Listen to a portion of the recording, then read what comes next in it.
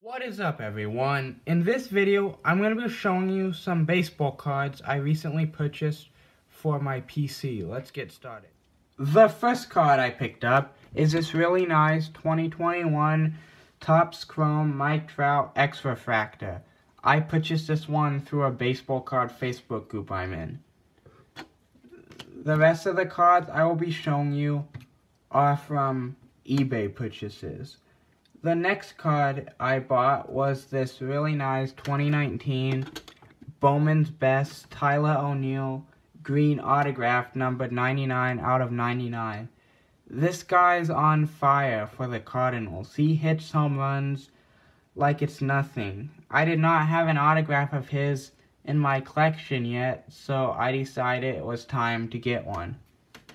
The next card I have is a 2021 Topps Finest Nolan Arenado autograph.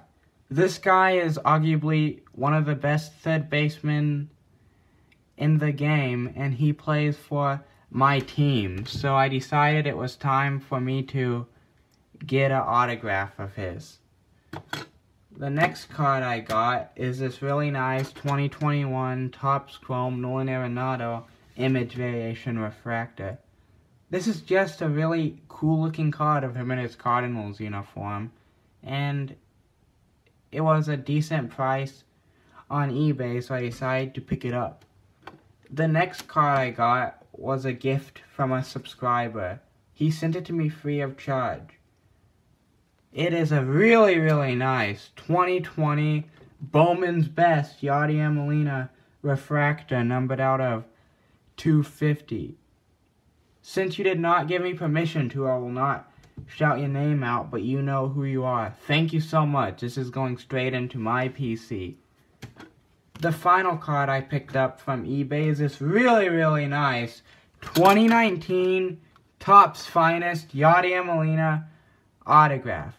I already had one, but I decided, you know what, he is going to be a for sure Hall of Famer why not get two? So I have one maybe I could potentially sell in the future and one I can keep. Thank you for watching everyone. Please like, comment, and subscribe. I will do my best to read and reply to all your comments.